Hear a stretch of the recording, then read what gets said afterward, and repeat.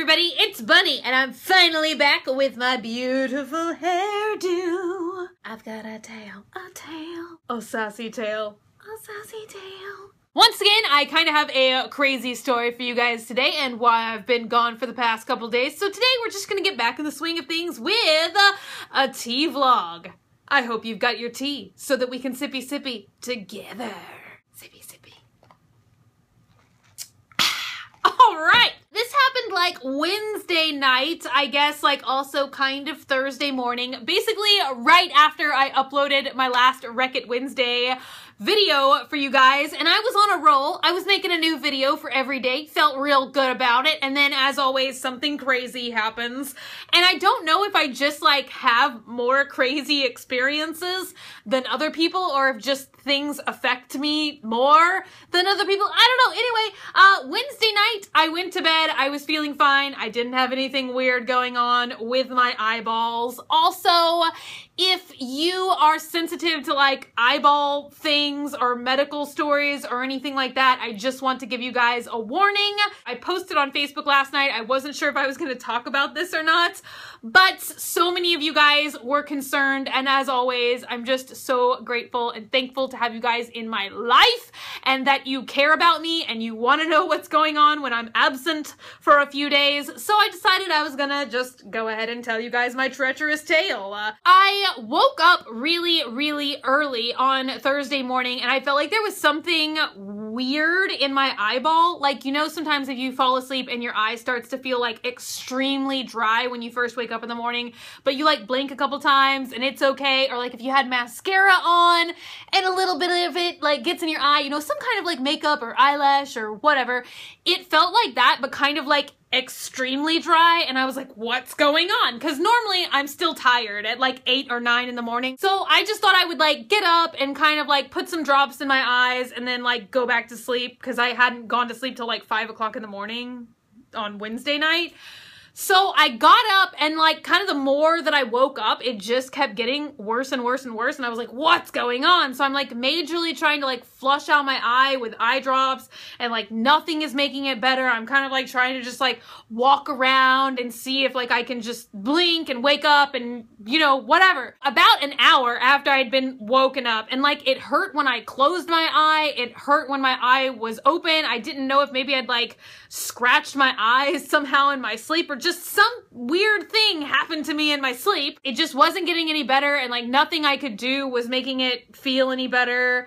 And so I just called my optometrist and tried to make like an emergency eye doctor appointment. I've been going to the same optometrist my whole life. So thankfully he was like, ah, oh, come on in. You know, we'll like squeeze you in because he had appointments the whole day. Uh, so I got there about like 1030 and they're kind of like, you know, dilating my eyes, looking at my eyes, doing all this biz.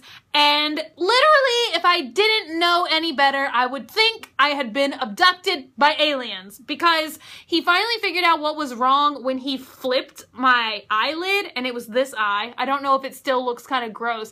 My eyes have been like really swollen for the past couple days. He flipped my eyelid and like extracted, this is the gross part, extracted like this tiny looking black shark thing and he's like do you know what this is do you know what this could be and i literally have no idea i'm just totally horrified if you guys have been here for any amount of time y'all know that like medical stuff is the source of pretty much 99% of my anxiety problems. And so I do not know what this was that came out of my eye. I don't know if it was like a piece of mascara that somehow like got hardened and like lodged up underneath my eyelid because I never ever never ever sleep in my makeup just because I can't fall asleep while wearing makeup. It's just so uncomfortable to me. So it's not like I'd been like sleeping in my makeup the night before and I'm always like really thorough about washing off my eyes and my eyelashes so I don't know what it could be. I never wear waterproof mascara. The only thing I'm thinking it could be is sometimes I wear mascara with the eyelash extensions, like the little extension pieces. And I don't know if maybe like a piece of that just somehow got stuck in my eye and then it like kind of crystallized or something and like, you know, hardened up in there. So it was kind of like sharp. I have no idea, but it has literally been so traumatic for me. I'm not sure if I've told this story before. I think I did, but like many, many years ago when I first started my channel in like the 100 things nobody ever asks or 10 things about you tag. I don't know which one it was, but when I was a little kid, I think it was like the second or third grade, I got a piece of metal lodged in my eye and like literally if I would have waited one more day to have that extracted I would have been blind in one eye. That's why like sometimes if you look at me like I have like a little bit of a wonky eye like some oh see you can kind of see it now like because I'm trying to focus like one eye and then the other one does a little crazy dance. I don't know, it was just kind of like reliving a totally traumatic experience for me when I was little. I had to have like rust extracted from my eye and now like the other eye had this happen and I'm like, this is just uncanny. I'm like, who has this many things that just like lodge in their eyeball. I feel like this is a totally uncommon, totally weird thing that's now happened to me twice. So now I'm just like, horrified and I've only done my makeup once since then but I just cannot bring myself to put on eyeshadow or mascara right now. I gotta get over it. I've gotta like build a bridge and like get over it. I'm even like kind of scared of like washing my face and products so lately I've just been doing like um, exfoliating what am I looking for? Like they're kind of the makeup remover towelettes, but I have some that are like cleansing and exfoliating. So I've just been using that. I know that that sounds totally, totally gross. And my skin is probably gonna break out like no other. I feel like I'm like curing one problem mentally and like creating another of like blemishes all over my face but I just can't handle it right now. I've just kind of been dealing with that and I've been kind of trying to like stay off the computer for the past couple of days because things like eye strain, like playing video games or like scrolling on the computer, all kinds of stuff like that.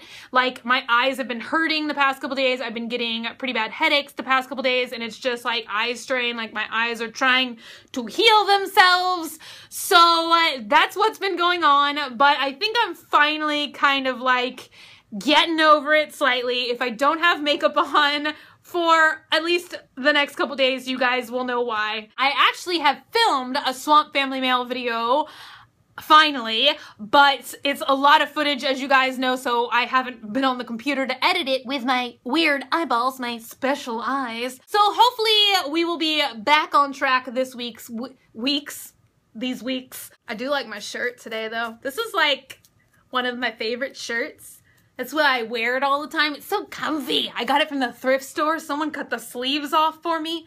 So it's just so comfortable. I'm just like chilling out. I'm just taking like a couple days to just do not much of anything. But we will be back on track this week. I always say that, but I promise, I pinky promise with both of my pinkies, ramble, ramble, scrambled eggs. I will see you guys tomorrow. Thank you so, so much for being here and for hanging out with me today and for sticking with me even when I disappear for a couple days. It truly means the world to me. Thank you so much for being here. Thank you for being you. If you're not already and you'd like to be, please join the madness, hit the button down below, subscribe, become a member of the Swamp family, and give an alligator its swangs. Also, if you want, you can like me on Facebook, facebook.com slash graveyardgirl, or you can follow me on Twitter, Tumblr, or Instagram at graveyardgirl, same way it's spelled here. I love you guys so, so much, and I will see y'all tomorrow. Bye!